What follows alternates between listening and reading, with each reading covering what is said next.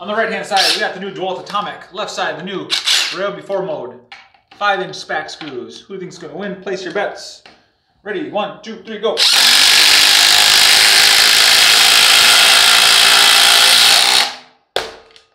I want to say it was a tie. Leave your comments down below. Let me know.